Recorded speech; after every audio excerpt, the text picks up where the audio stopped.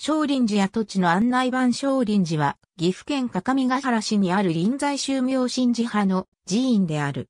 三号は、龍慶山。本尊は、聖観世音菩薩。美濃四国札所第28札所。美濃四観音の一つ。鎌倉時代の1311年、尾張国羽栗郡将毛島村に、臨済宗南禅寺派の寺院として、無双祖石が解散する。かなり大規模な伽藍と伝えられている。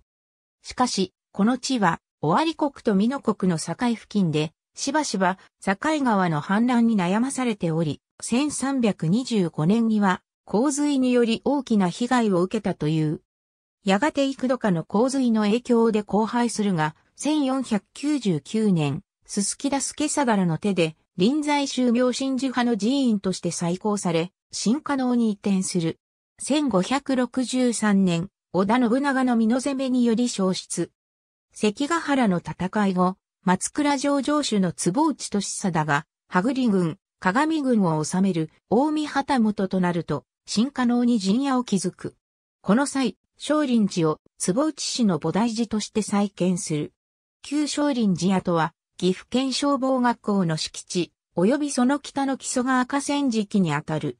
ありがとうございます。